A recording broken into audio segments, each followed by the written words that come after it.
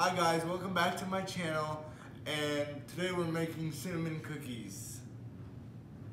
And for the ingredients we will need flour, sugar, and cinnamon, salt, baking powder, an egg, and vanilla extract and butter.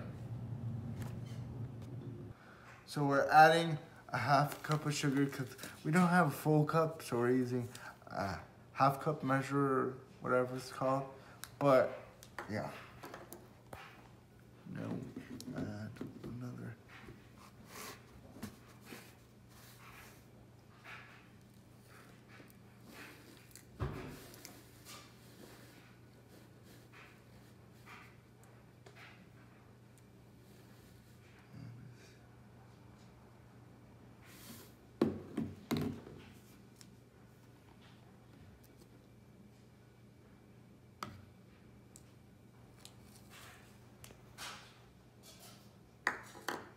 And it.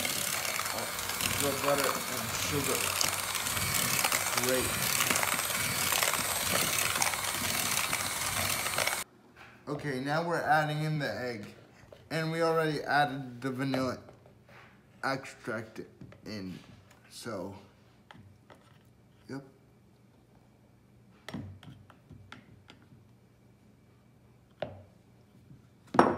And now we mix And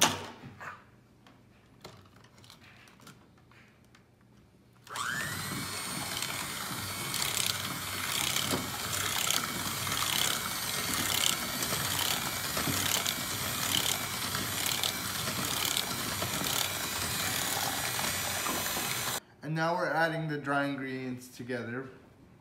And this is flour. And we need a quarter cup of salt. I mean, a quarter teaspoon. And now we're adding cinnamon.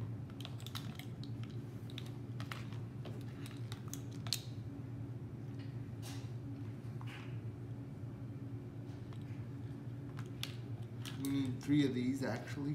So.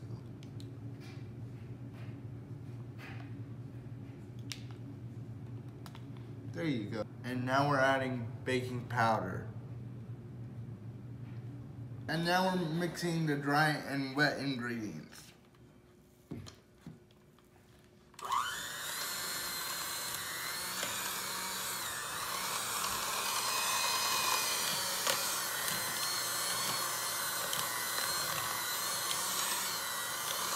Yeah. And now that the cookies are prepped, and we can put them in the oven and preheat your oven to 350 before you put them in, so, yep. And we made this one giant cookie because, yeah, why not? Uh, okay, these, uh, this is how my, my cookies turned out. And I think they look pretty good. I never made them before, so. And guys, thanks so much for watching. Subscribe if you're not subscribed yet. Like the video, share the video with your friends, family. Thanks for watching. Bye.